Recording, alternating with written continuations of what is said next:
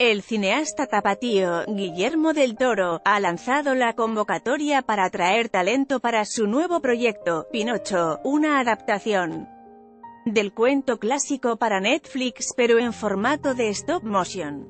Uno de sus más cercanos colaboradores, Guy David, quien realizó el diseño en la forma del agua, subió a su cuenta de Twitter el anuncio donde buscan talentos para unirse a dicho proyecto. El próximo Pinocchio de Guillermo del Toro está aceptando solicitudes de trabajo para storyboard artista a través del siguiente enlace. Para todas las presentaciones, sigue el proceso de solicitud de empleo que se detalla https pinocchiocrew.com se busca personal para producción, diseño, guiones, marionetas, arte, cámaras, animación y efectos visuales.